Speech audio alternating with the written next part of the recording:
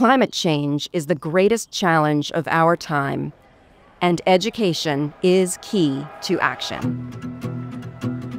Day of Climate is a new initiative that brings together the full strength of MIT, our researchers, educators, and learners to research climate science, realize its impacts, and design real world solutions.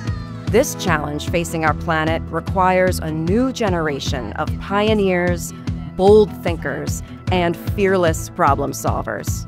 By investing in K 12 learners today, we cultivate the scientists, engineers, and visionaries who will create a more sustainable future.